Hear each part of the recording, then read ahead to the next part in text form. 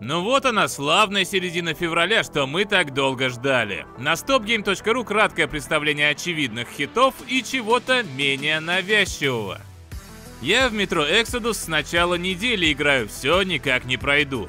Масштаб продолжения метроэпопеи поражает. Это даже с учетом того, что пылесосить новоприбывшие открытые локации исхода совершенно не обязательно а возможно даже и противопоказано. Но об этом мы еще в текстовой рецензии поговорим. Главное, знайте, что сильные стороны проекта остались прежними. Речь в первую очередь про постановку и атмосферу. Да, метро может существовать и без метро. И чувствует себя при этом прекрасно. Смотрите наш видеообзор и играйте. Неожиданный конкурент на постапокалиптичном поле для творения 4A Games – самостоятельное дополнение к Far Cry 5 – Far Cry New Dawn. Очередная фирменная порция скитаний по красочным локациям с планомерной зачисткой вражеских укреплений. Если вам не надоел подобный концепт, то брать можно смело. Как пишут рецензенты, это во многом рескин пятой части, предлагающий мало чего нового – Вроде бы даже суперспособности, появляющиеся у главного героя ближе к концу прохождения, не особо добавляют свежих ощущений. Третий лик открытого мира – Crackdown 3.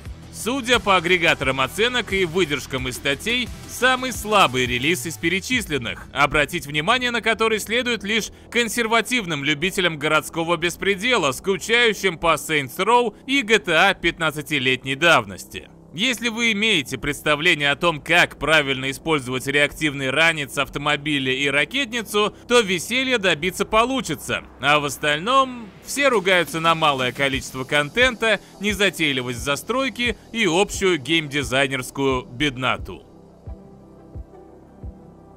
Открытый мир, открытый мир. Вот уж где весь мир действительно открыт для вашего влияния и покорения, так это в цивилизации от Сида Мейра.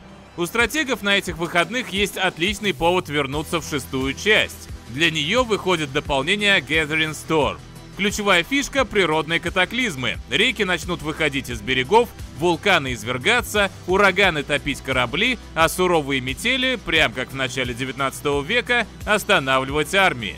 Само собой, не природа единой. Есть новые сценарии, лидеры, чудеса света, юниты, здания и прочее, прочее.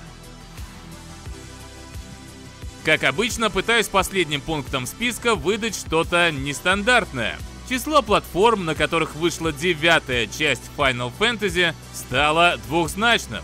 На этой неделе хит от Square Enix почти 20-летней давности почтил своим присутствием консоли Xbox One и Nintendo Switch. Чем не повод опробовать самую высоко оцененную среди критиков часть знаменитой серии. А потом пристыдить Даура, который до сих пор не разродился многострадальной историей серии. Ох, Представляете, в каком году он будет про девятку рассказывать? Заглядывайте сегодня на stopgame.ru. Вечером показываем метро и крэкдаун. Да и вообще, у нас интересно. Всего хорошего.